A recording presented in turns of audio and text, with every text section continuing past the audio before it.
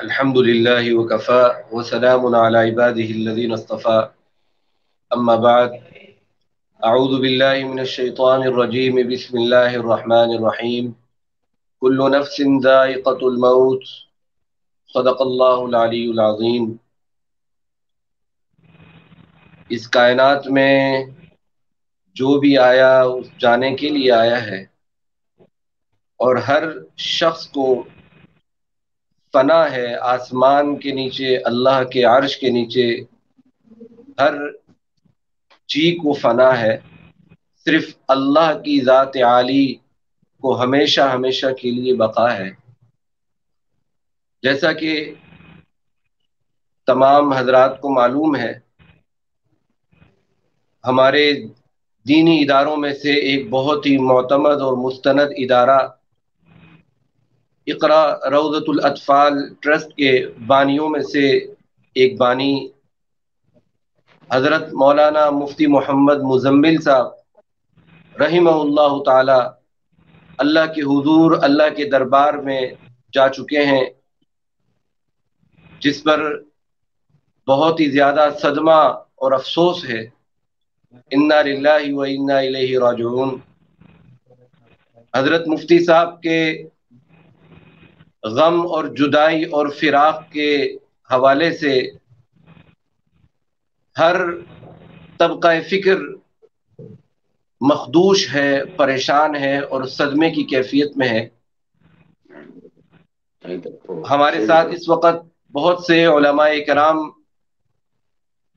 हज़रत मुफ्ती साहब रहमत की मोहब्बत और उनकी जुदाई के फिराक में अपने इजहार ख्याल और ताज़ियती कलिमात इरशाद फरमाना चाहते हैं। हमारी खुशकिस्मती है कि इस वक्त हमारे साथ लाइव मौजूद हैं हमारे मुल्क पाकिस्तान, बल्कि बैन अवी पूरी दुनिया के अंदर मशहूर मरूफ इदारा जामिया इमदादिया फैसलाबाद के मोतम हज़रत मौलाना मुफ्ती मोहम्मद तय्यब साहब दामद बरकत इन ताला अभी वो आप हजरात के सामने तादियत कलिमात इरशाद फरमाएँगे। अस्सलाम वालेकुम वरहमतुल्लाहि व बरकातुहू वालेकुम अस्सलाम नहमदुहु व नुसल्ली व नुसल्लिमु अला रसूलिहिल करीम। व अला आलिहि व अस्हाबिहि अजमाइन। अल्लाहुम्मा सल्लि अला सय्यिदिना व मौलाना मुहम्मद व अला आलि सय्यिदिना मौलाना मोहम्मद वबारक वसलम सलात वसलामन कसीरन कसीरा हज़रत कराम हज़रत मौलाना मुफ्ती मुजम्मल हुसैन साहब रहमत अलैह की वफ़ात का और बहुत सदमा और रंज है। अल्लाह ताला उनके दर्जात को बुलंद फरमाए। और उनकी हसनात को बहुत अला दर्जे में कबूल फरमाए। इस दुनिया में बहुत से लोग आए हैं और चले गए हैं लेकिन बहुत से लोग ऐसे आए हैं जो काबिल रश्क ज़िंदगी गुजार के यहाँ से गए। और हर आलिम और दीन का काम करने वाला तमन्ना करता है कि काश के जो नेकियाँ वो करके गए हैं वो नेकियाँ मुझे भी उसकी तौफीक मिल जाए और वो नेकियाँ मुझे मिल जाए। और जब मैं बिन्नौरी टाउन में दौरा हदीस किया है, और उसके बाद फिर कराची में मजीद एक साल रहा हूँ मैं हज़रत मुफ्ती गफीर अहमद साहब नबर अल्लाह हमारे उस्ताद, उनके पास इफ्ता की मशक की है मैंने। तो हज़रत मौलाना खालिद महमूद साहब दामद बरकत ये मुझसे एक साल पहले दौरा हदीस से फारग हुए थे, उसके मुतसिल बाद अगले साल मुझे यहाँ दौरा हदीस का मौका मिला है। और फिर इनके, वहाँ हज़रत मुफ्ती जमील साहब थे, वो पहले से जामिया के फाजिल हैं और यहाँ पर मौजूद थे।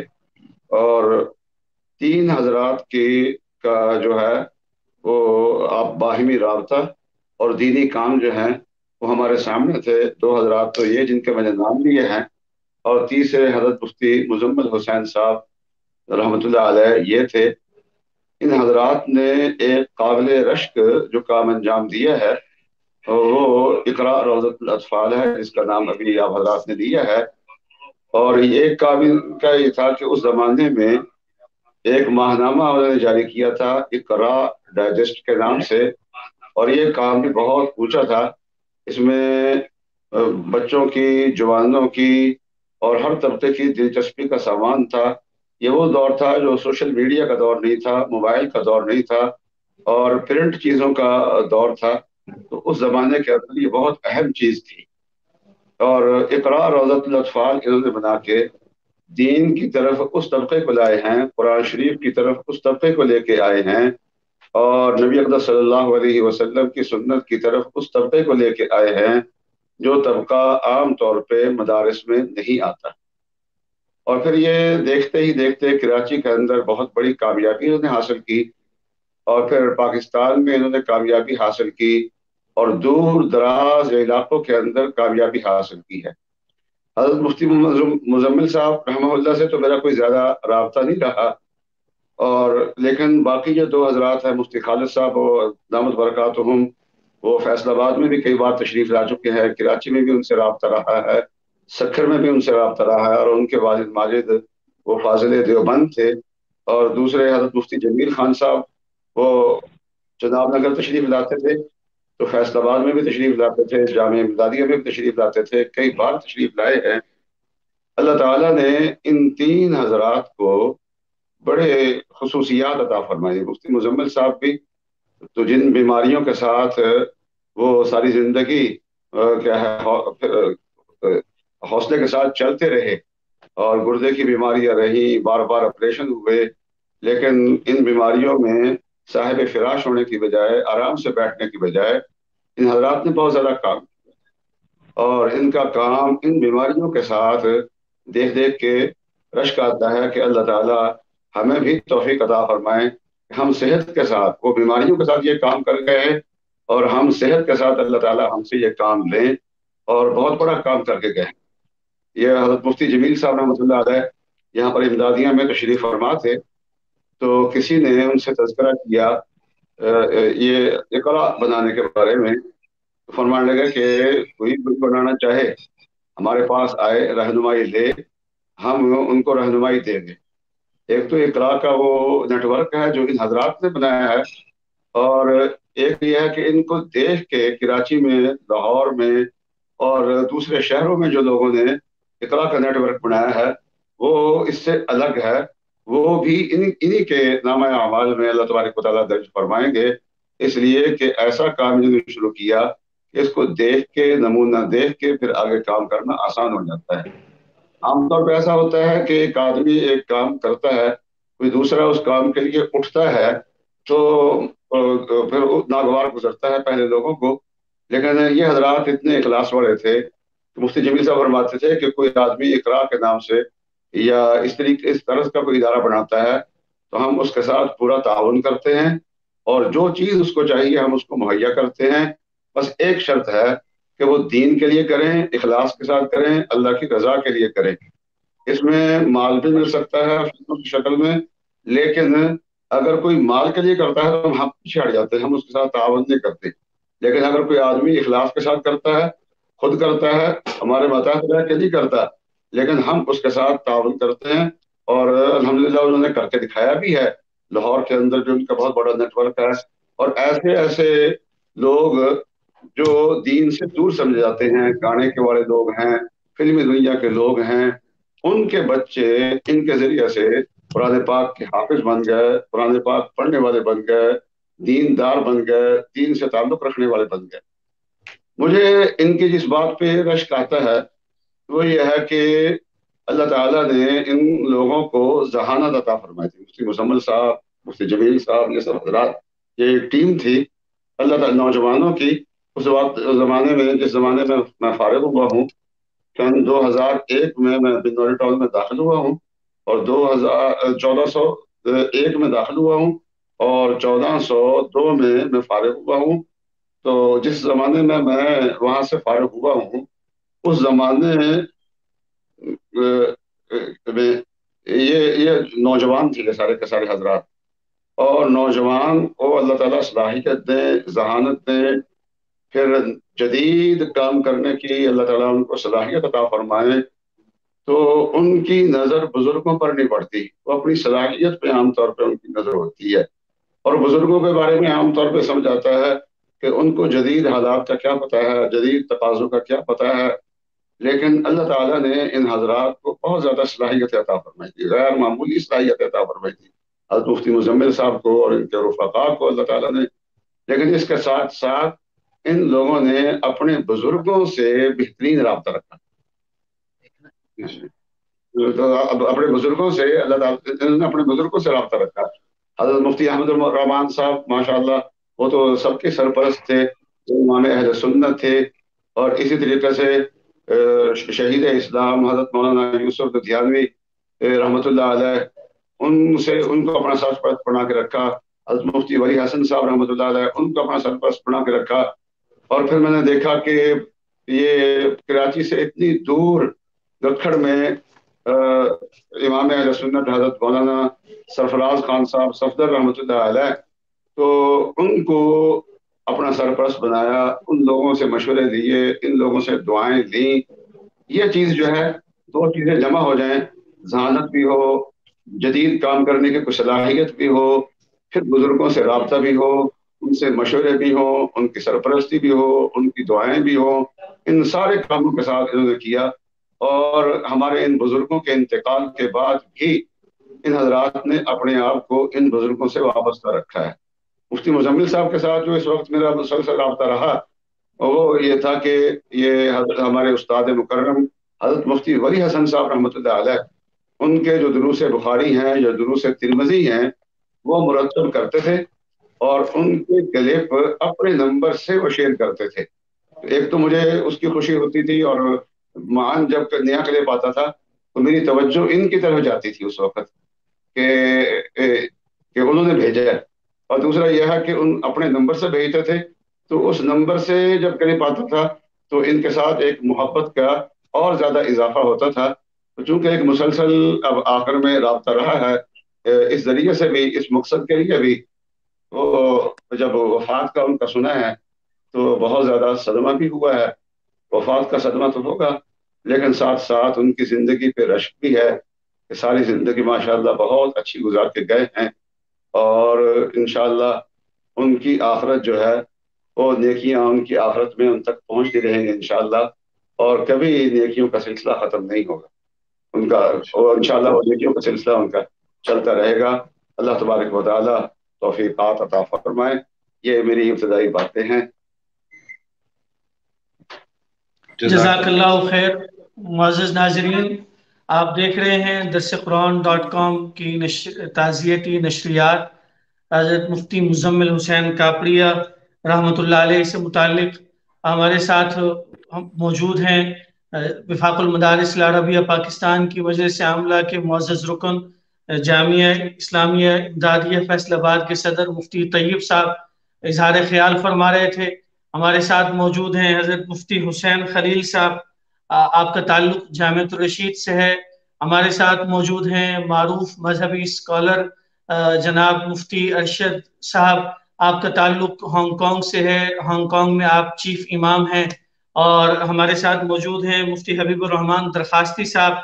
मैं सबसे पहले तमाम मुआज़ मेहमान ग्रामी का मशहूर हूँ कि उन्होंने दरस कुरान की इन नशरियात के लिए वक्त निकाला और मैं बढ़ूँगा। मुफ्ती हुसैन खलील साहब दामद बरकत की तरफ़। हज़रत मुफ्ती साहब, आप हज़रत मुफ्ती मुजम्मिल हुसैन साहब के मुतालिक कुछ इर्शाद फरमाए। बसमिल्लाम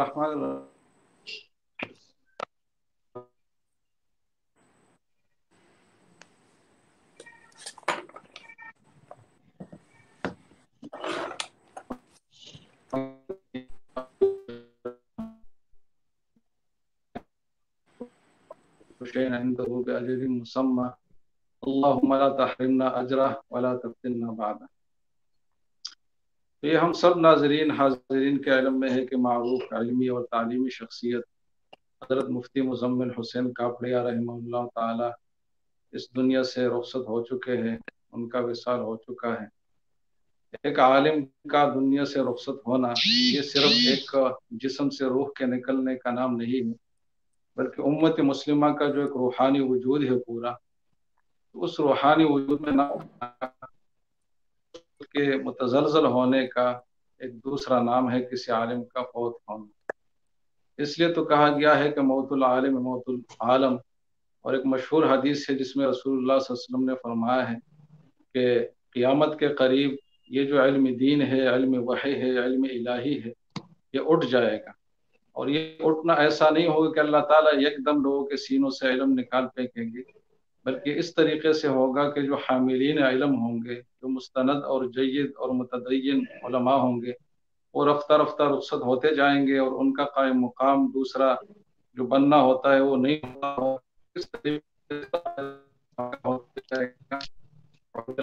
ऐसा मरहला आएगा जिसमें कोई भी सही मसला बनाने के लिए आदमी नहीं रहेगा। और जो जाहिल लोग जो वो करें तो ये हमारे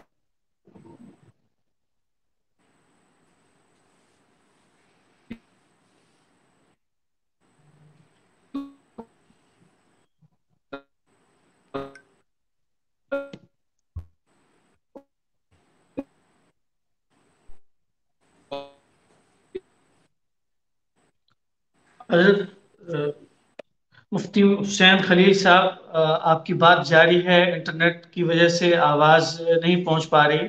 मैं दरख्वास्त गुजार हूँ अजीम मजहबी स्कॉलर, आलमी स्कॉलर हज़रत मौलाना मुफ्ती अरशद साहब दाम बरकत आलिया से क्या आप हज़रत मुफ्ती मुजम्मिल हुसैन कापरिया नवरल्ला मरकद के मुतालिक कुछ बात फरमाएँ। अस्सलाम वालेकुम रहमतुल्लाहि व बरकातुहू बसमीम वनसलम रसूल करीम अम्माबाद मुफ्ती मुजम्मिल हुसैन साहब के सानह इतिहाल पर हम सब दुखी हैं और उनकी वफ़ात का सुनकर बड़ा अफसोस हुआ।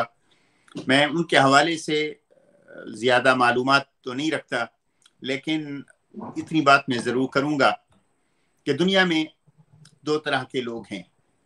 एक वो जो अपने काम की वजह से शोहरत के बुलंदी तक पहुँचते हैं और शोहरत पाते हैं और फिर उनकी शख्सियत उनके किए हुए काम पर गालिब आ जाती है। और फिर वो जो भी काम करते हैं तो वो अपनी शोहरत की वजह से उसको इख्तियार करते हैं।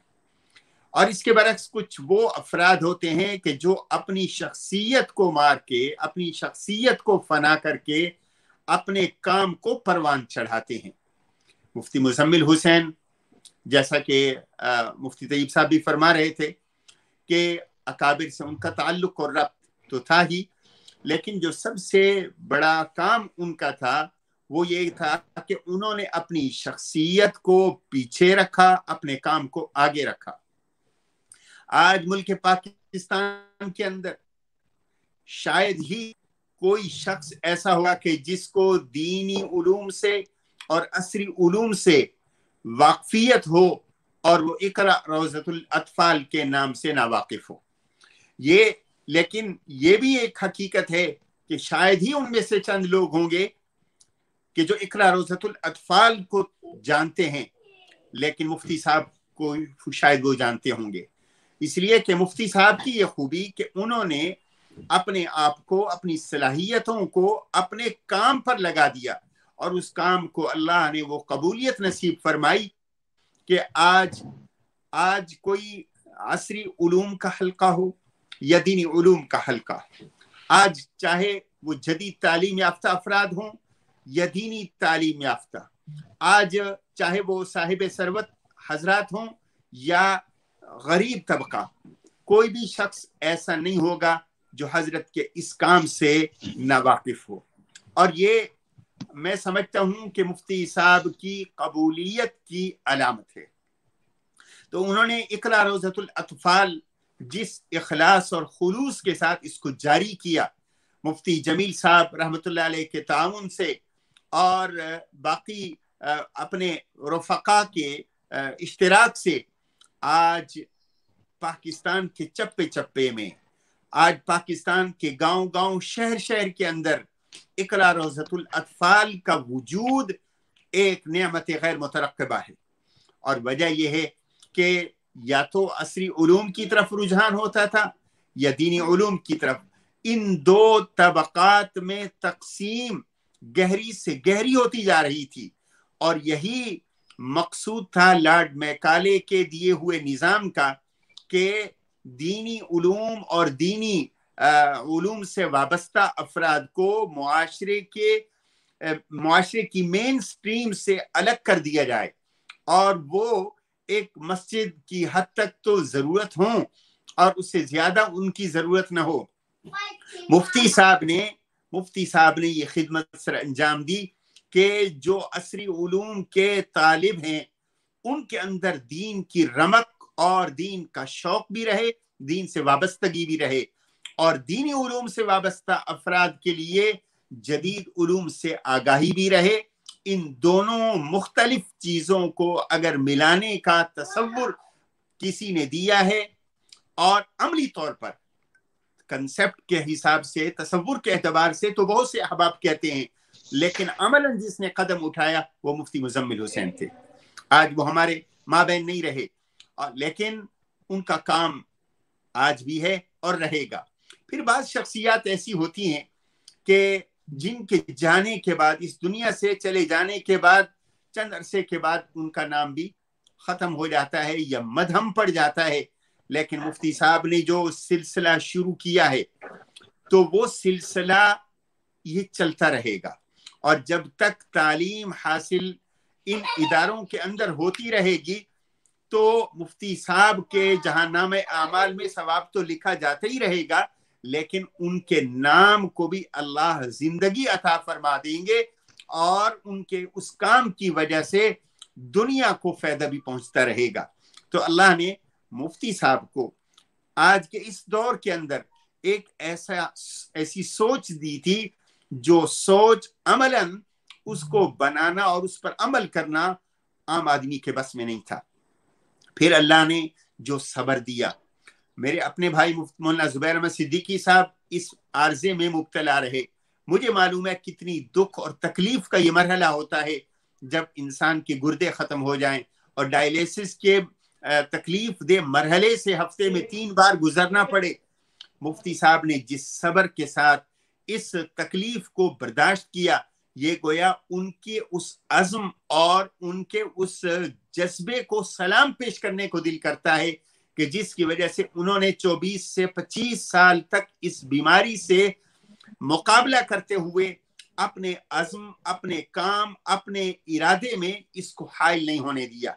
तो गोया ये सबक है उन लोगों के लिए भी जो थोड़ी सी तकलीफ़ या मुश्किल पेश आने की सूरत में अपने असल हदफ से या तो हट जाते हैं या अपने असल हदफ के हुसूल में उसको रुकावट समझते हैं।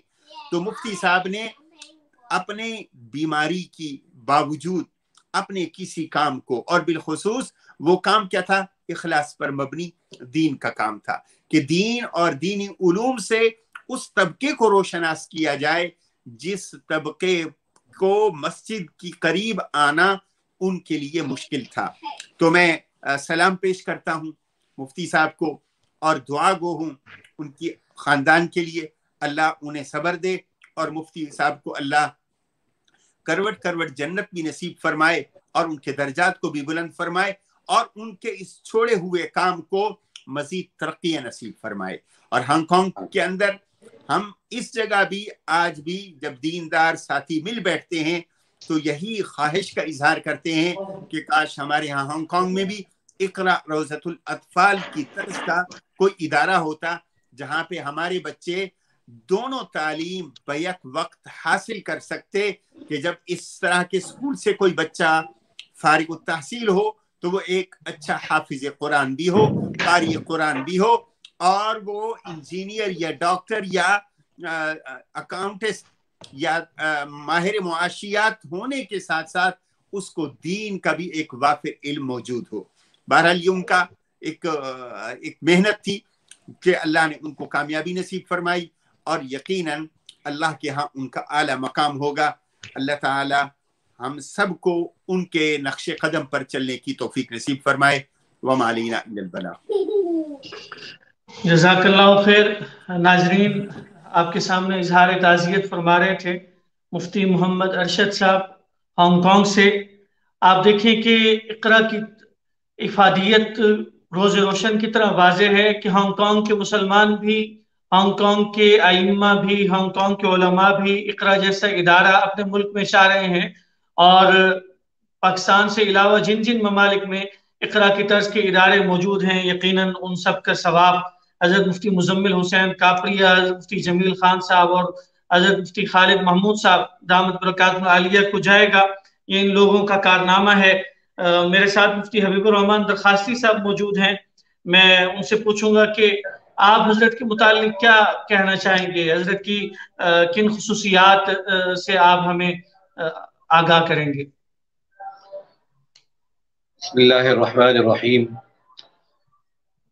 इस वक्त जिस तरह कराम और मुफ्तियान निज़ाम, बुजुर्गान दीन का, अल्लाह के पास जाने का, वफात का सिलसिला जारी है।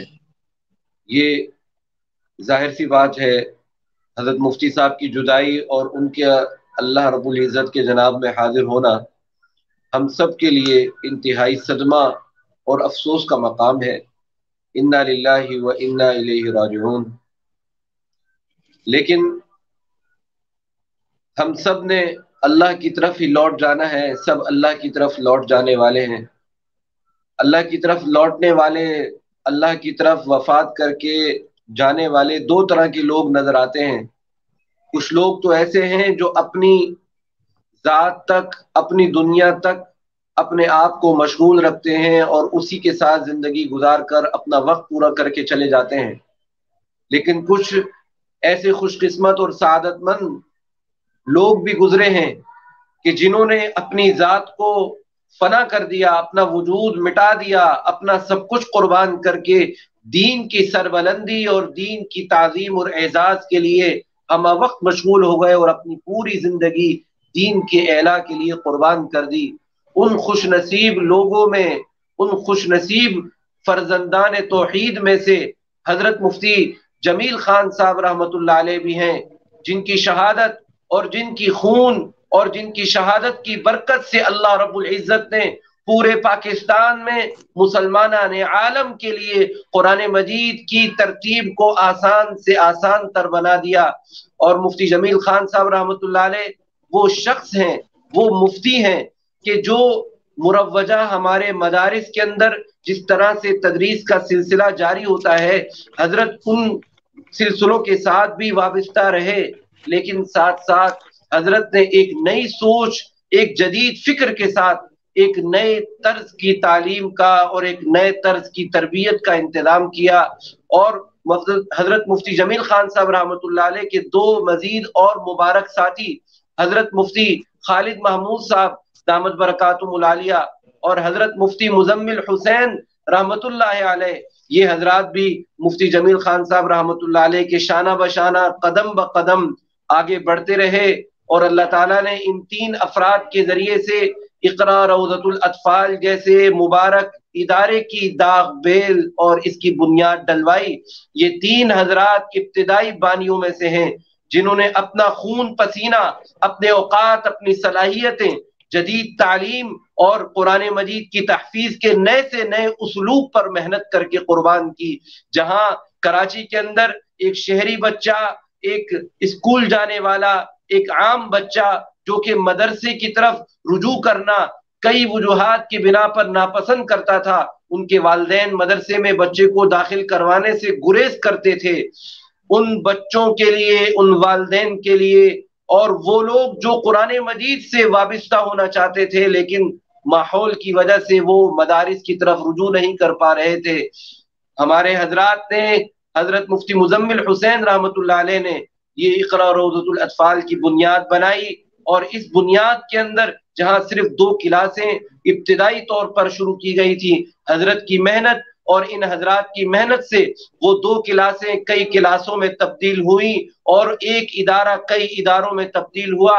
इस वक्त पूरे पाकिस्तान के चप्पे चप्पे के ऊपर हर शहर, हर करिए में अल्हम्दुलिल्लाह इकरा अतफाल की शाखें और ब्रांचेज मौजूद हैं, वरना कम अज कम इतना ज़रूर है कि इकरा अतफाल के शाना बशाना उनके नक्श कदम पर चलने वाले बहुत सारे इकरा मौजूद हैं, जो जदीद उसलूब के साथ बच्चों को कुरान मजीद हिफ्ज करवा रहे हैं। बच्चों को मोन्टिसरी पढ़ाते हैं, इस्लामी माहौल में अपनी इस्लामी इस्तेलाहात के साथ अपनी इस्लामी तरबियत के साथ और अपनी इस्लामी तालीमत के साथ एक तीन साल के बच्चे की इब्तदा होती है और इकरा का सिस्टम उन तीन साल के बच्चों को कुरान मजीद के हिफ्ज का शौक पैदा करता है। उनके अंदर शलवार कमीज पहनने का शौक पैदा करता है। उनके अंदर सुन्नत नबवी सलाम के इतवा का शौक पैदा करता है। यही वो इदारे हैं जो हज़रत मुफ्ती साहब की मेहनत और सरपरस्ती की वजह से अल्हम्दुलिल्लाह, चलते चले गए। आज लाखों की तादाद में, पूरे पाकिस्तान में, ये हुफाज इकरार अतफाल के मुस्तफ़ीदीन और इकरार अतफाल के ये फजला और ये हुफाज, अल्हम्दुलिल्लाह, पूरी दुनिया में फैले हुए और दीन का नाम रोशन कर रहे हैं। हज़रत मुफ्ती साहब रहमत से मेरी ज़्यादा मुलाकातें नहीं रही, लेकिन जैसे हमारे दीगर मेहमाना ने गिरामी फरमा रहे थे कि हज़रत मुफ्ती साहब रहमत की एक खास कैफियत थी कि उन्होंने अपनी जात को फना कर दिया था। ऐसे मुखलिसाना तर्ज पर मेहनत फरमा रहे थे कि उनकी जात का, उनकी जात का कोई वजूद नहीं रहा था। उनका काम, उनका काज और उनका मिशन इतना ज़्यादा मुकदम था कि उनकी जात नज़र नहीं आती थी। जब मैं इकरा में अपना इकरा जाम अनवार कुरान की जानब से कुछ मालूम लेने के लिए मेरी हाजिरी हुई तो मेरी अपॉइंटमेंट थी हज़रत मुफ्ती तला साहब के साथ, जो कि रौजतफाल के शोबा तहफीज के निगरान है।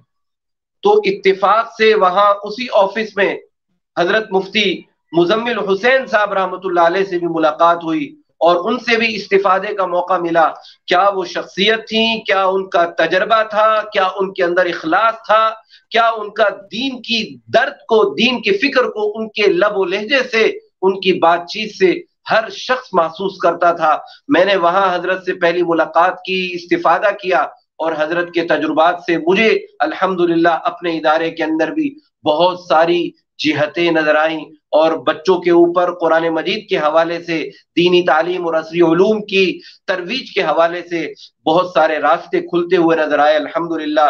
अल्लाह ताला हज़रत मुफ्ती हुसैन, हज़रत मुफ्ती मुजम्मिल हुसैन साहब रहमत की अल्लाह ताला उनके दर्जात बुलंद फरमाए और उनकी तमाम दीनी मिली और समाजी खिदमत को अल्लाह ताला कबूल फरमाए। हज़रत मुफ्ती मुजम्मिल हुसैन शाह साहब रहमत से जो मेरी मुलाकात रही उस मुलाकात में हज़रत मुफ्ती साहब रहमत ने यह भी फरमाया था कि आपके दादा जान हज़रत हाफिजुल हदीस मौलाना अब्दुल्ला दरखास्ती नवर अल्लाह से भी जानू तलमुस तय किया था और उनसे भी इस्तीफादे का मौका मिला था। ये मेरे लिए भी खुशी का मकाम था कि मेरे पर दादा जान हाफिजुल हदीस हज़रत मौलाना मोहम्मद अब्दुल्ला दरखास्ती रहमत के मुस्तफ़ीदीन में से एक शागिर्द से मेरी मुलाकात हो रही थी। अल्हम्दुलिल्लाह, वो मुलाकात यादगार है। और ये जो कुछ भी काम हो रहा है, इकरा के अंदर, मदारिस के अंदर, शोबा तहफीज के अंदर, और नए से नए तरीके जो असालीब शोबा तहफीज में इश्तहाद के ज़रिए से निकाले जा रहे हैं, ये सब कुछ हज़रत रहमत का सदका जारिया है। अल्लाह ताला उनकी काविशों को, मेहनत को कबूल फरमाए। मैं उनकी ज़िंदगी पर, उनकी दीनी खिदमत पर उनको खराज तहसीन पेश करता हूँ। और साथ साथ हम सब ही हज़रत के पसमानदगान हैं। हम सब ही हज़रत की जुदाई पर गमगीन हैं। अल्लाह ताला हम सबको सब्र जमील आता फरमाए। इकरा रोज इकरा अतफाल के जितने भी बानियान, जितने भी मुतलकिन हैं और हज़रत के खानदान और खानवादे के जितने भी लोग हैं अल्लाह ताला सबको सब्र जमील आता फरमाए और हमें भी हज़रत की तरह दर्दमंदी और फ़िक्र अंगेजी के साथ इसी तरह शाना बशाना दीन की खिदमत करने की तोफीक अता फरमाए।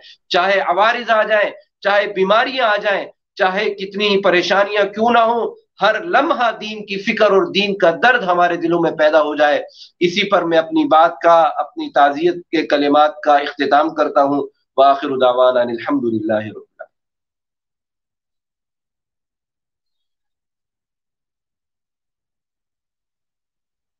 अल्हम्दुलिल्लाह, आज का ये ताज़ियती प्रोग्राम जो हज़रत मुफ्ती मुजम्मिल हुसैन रहमतुल्लाह के हवाले से उनकी ताज़ियत के लिए रखा गया था और बेशुमार मेहमान गिरामी, मुफ्तियान इज़ाम और कराम ने हज़रत की खिदमत पर खराज तहसीन पेश किया। मैं तहे दिल से तमाम हजरात का शुक्र अदा करता हूँ और ख़ास तौर पर दरस कुरान डॉट कॉम अल्लाह ताला इस चैनल को भी कबूल फरमाए और इससे ज़्यादा से ज़्यादा दीन की इशात का काम ले। वाखिर दावाना अलहमदिल्ला